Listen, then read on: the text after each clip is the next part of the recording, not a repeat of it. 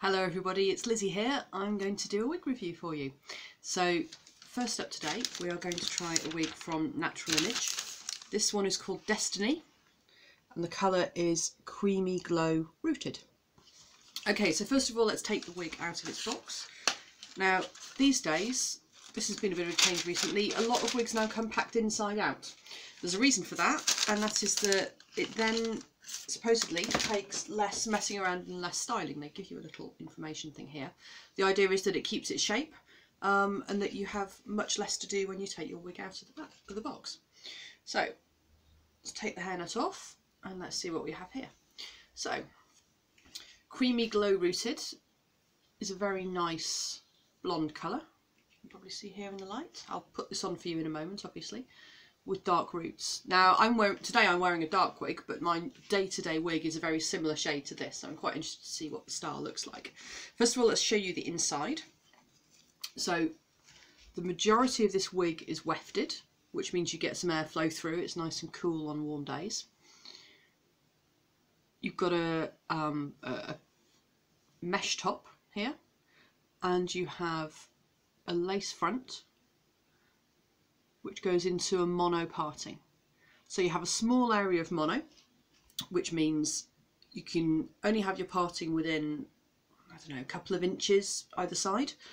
But if you keep it there, you have a really nice natural base. Right, so let's give this a try. First of all, when you get a wig out, give it a shake. Take a wide tooth comb, with a little bit of a comb through. There we go. Okay, let's give this a try. So this one off.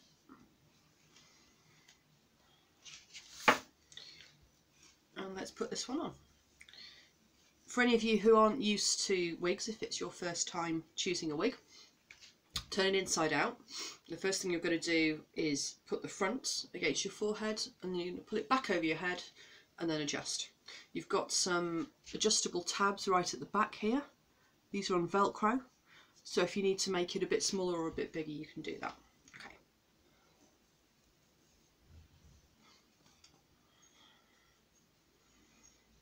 Right, so adjust the ear tabs over your ears. Bring this round. Okay, so at the moment, the parting is let's find the boundaries of this mono parting that we've got on here there and there. So at the moment the parting is more or less in the middle of that strip. So what that means is that you could move the parting line across this way a little bit or across this way a little bit. I'm going to just shift it a little bit across and we'll see what that looks like.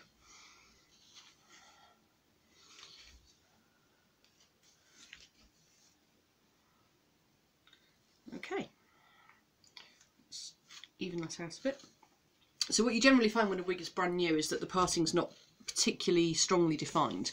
And as you wear it for a little while, you'll find that this opens up a little bit and you see more of the mono base here, which looks just like your scalp. It's such a fine layer of material that you can't see anything other than your scalp. So, what do you think of this? What we have is the lace front. You've got some shorter layers at the front here so this forms a, a fringe that sort of comes to the side. Obviously you could have it have it trimmed into a fringe if you prefer that. Can you imagine that trimmed just above my eyebrows? That would look nice. Or you can have it swept back off your head. And of course the great advantage of so many wigs having lace fronts these days is that you can have it off your forehead. When I was first wearing wigs hmm, 25, 30 years ago, this didn't exist. So you had to have a fringe whether you liked it or not. So you've got those shorter layers at the front. You've got a little little bit of shorter layers coming down the side here, to sort of chin length, and then you've got lovely longer layers here. Let's do a 360 shall we? So there's the front, and side, and the back.